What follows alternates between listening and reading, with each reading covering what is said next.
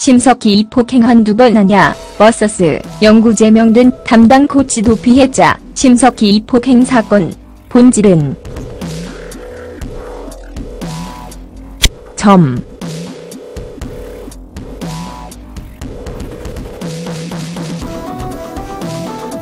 한국 여자 쇼트트랙 간판 심석희, 한국체대가 진천 선수촌을 무단 이탈한 원인이 담당 코치의 집중 관리와 누적된 폭행 때문이라는 주장이 나왔다.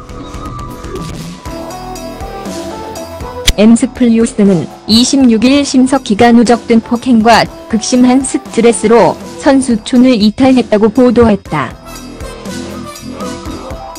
엠스플리우스에 따르면 심석희는 이번 한 번만 맞은 게 아니었고 대표팀 코치진의 개인 집중 관리를 받으면서 성적 중압감으로 극심한 스트레스를 받았다.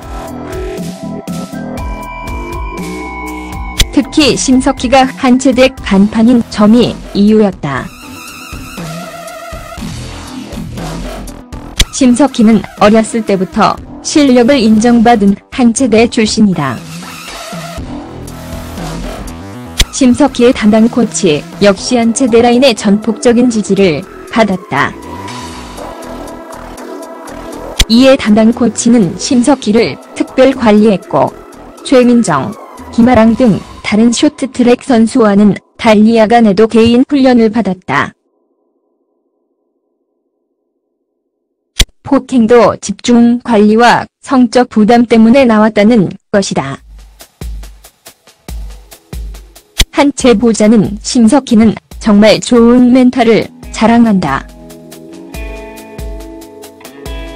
웬만한 일에도 동요하지 않는다며 그렇 심석희가 선수촌을 뛰쳐나간 건 얼마나 극심한 스트레스에 시달렸는지를 가능하게 해준다고 말했다. 그러면서 해당 코치 역시 좋은 성적을 내야 된다는 부담감에 말보다 손이 먼저 나갔을 것이라고 전했다. 심석희를 폭행한 해당 코치는 영구 제명된 상태다. 빙상연맹은 25일 가해자인 코치를 중징계로 영구 제명한다고 밝혔다. 심석희는 현재 평창올림픽 데뷔를 위해 선수촌에서 훈련을 재개했다.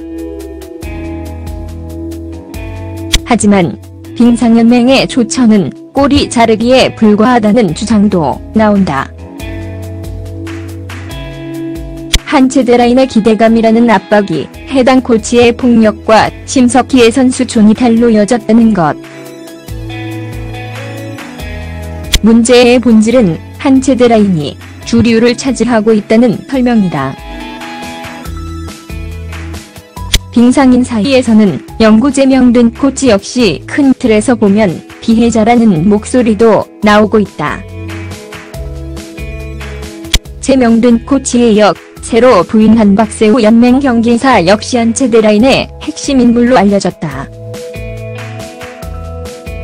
이에 코치, 이름만 바뀌었을 뿐 문제의 본질은 전혀 해결된 게 없다는 비판이 제기된다. 앞서 심석희는 담당 코치의 폭행으로 16일 진천 선수촌을 이탈했다가 복귀했다. 당시 문재인 대통령이 선수, 동료 차원에서 선수촌을 방문했지만 쇼트트랙 대표팀은 심석희가 독감에 걸려 행사에 불참했다고 거짓 보고하기도 했다.